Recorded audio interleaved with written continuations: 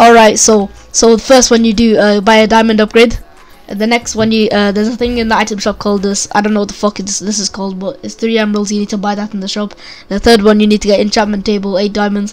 Um, this one you need to get a kill uh, with a sword, I think, or just get a kill. Uh, next one you need to break a bed. Uh, there's something Mr. Moz can't do.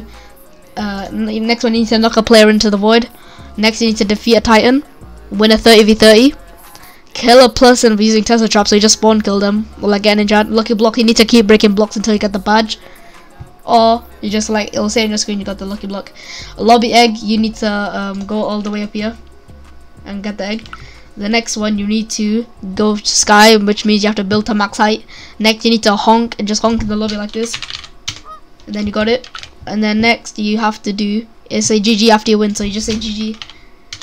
Alright, and then next what you have to do is kill someone with a snowball. So just get enchantment table, get fire static, and then just kill with snowball. Next, you have to queue with a friend, like so like they need to be in the same lobby as you, but not the same team as you, and you basically just kill your friend. Then next, you need to kill someone exactly at 10:30, and this one it hasn't released yet.